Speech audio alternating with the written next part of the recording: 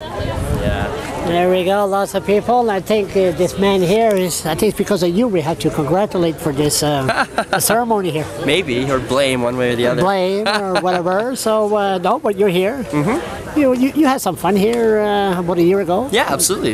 You yeah. didn't really know nothing about Scotchmen, but you opened your mouth and you got in trouble. oh my like- God! Okay, we got the recorder. Got to. This can't be our normal uh, interview. Just like something Charles LeBlanc would do. Yeah, exactly. So go ahead. What's uh, what did you learn, and are you happy? Of course you are. But Yeah. There's an election around the corner, so we'll give you a chance to make yourself look good. Yeah, no, uh, no. I mean, it's good. Uh, we're expecting a lot of people out today, and um, I've managed to make a lot of good friends throughout this. I've served on the committee with uh, uh, a lot of the members of the New Brunswick Scottish Cultural Association. I'm a member of it now myself, and um, they're uh, they're looking to involve me in a lot of things. I mean, it's been a learning process on one side, but at the other hand, it's been um, I think it's been good for everybody else as well. Uh, it raised awareness of a culture that is extremely prominent but underpronounced in the area. You sure did. Um, and uh, I mean, here we're having a celebration today. Yeah, whereas if we would have put it through quickly at council, who knows? Maybe it just would have slipped through and nobody noticed. But, Exactly. Um, I remember back when it happened, a lot of friends who had uh, common Scottish last names were telling me, you know, I didn't know there was a statue there. I didn't know who the statue was of, and I've had young people talking about joining the society now. And And you didn't know the blogger was half Scottish? yeah, well. S- Stubbornness has to come from somewhere, right? So How do you do? How are you? no, I think it's going to be good. Weather was nice. We can give you credit for that. No, that's a Scottish. That's a, the weather in Scotland. Cold and windy, and it's, it's not too often you see Scotchmen with a smile in their face. You don't see that too often. But they look, everybody's smiling. Yeah, no.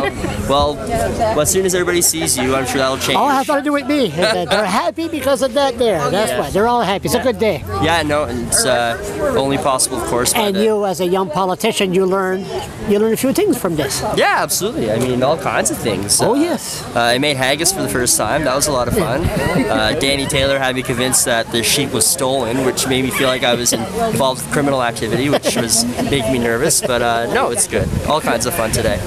Congratulations. Thank you, Monsieur. You did good. Well, I know you were the one who brought it up, made the noise about it. Oh yes. Yes. Yeah. Why was that important for you? Well, uh, I mean, it's sort of an accidental circumstance, really. What what started was uh, it was budget time. We were going late into the night. Things were getting heated, and uh, the comment that I made was uh, that it was a waste. Uh, but it wasn't a waste in the sense that it was an outright waste to spend money on this. Um, I thought that we should have gone to the public first and asked for community support in, in in this type of endeavor, and I still stand by that. Just when you get tired, sometimes you don't communicate things as well.